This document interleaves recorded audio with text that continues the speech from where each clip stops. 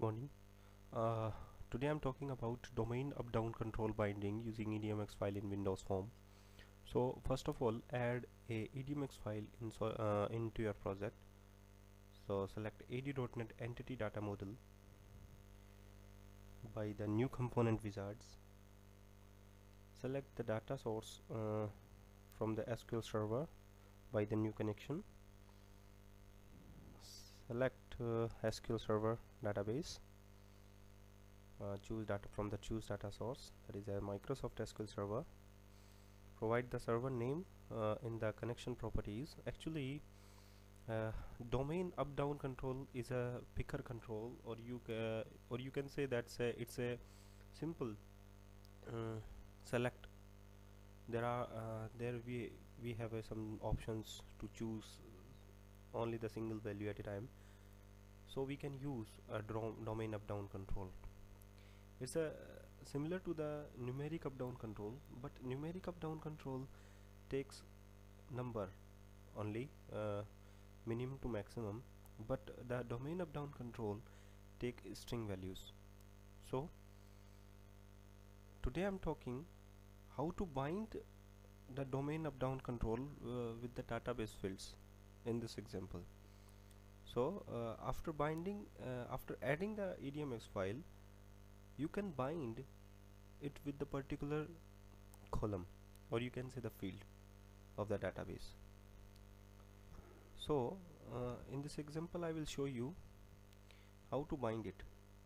So first of all retrieve all the columns uh, from the database table by using the LINQ query uh, and after that one by one we can add in the domain up down control. Similarly uh, we can add in the combo box or the list box. Okay?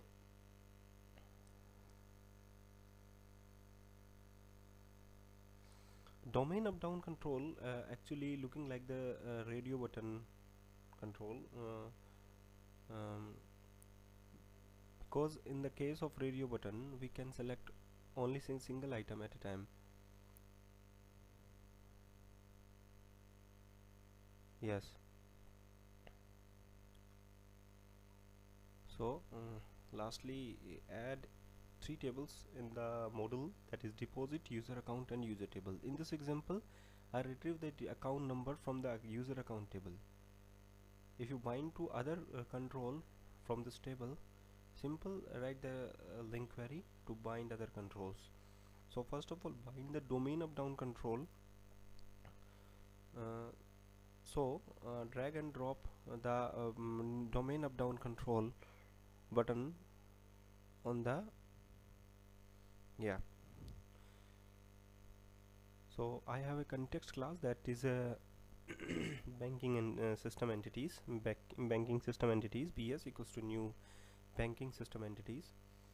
By using this class we can uh, retrieve all the columns of the data of the table by using the public properties of this class. So variable items equals to bs dot user accounts. Here user accounts is a public property in the banking system entities class. That is the data context class. So uh, here we have convert at the object into the array. So we have a two-dimensional array. Now I want to bind the item by using add range method. But here we have a simple problem. We cannot bind the single item at a time by using if uh, this is the two-dimensional array. So we can retrieve if you want to retrieve the single item item at a time. So use any other loops. So uh, here we use for each loop to bind uh, to add the item in the domain up down control. So variable item in item here the collection that is items. And the change the variable name that is item 1 yeah that's fine. Now uh, add item in the domain up down control. One by one dot items dot add. Oops dot add. Object item is uh, item dot item one dot account number dot to string. So thank you thank you very much for watching this video tutorial. Please keep watching my all video tutorials which is related to uh, your query and uh, windows form thank you thank you very much. Check your output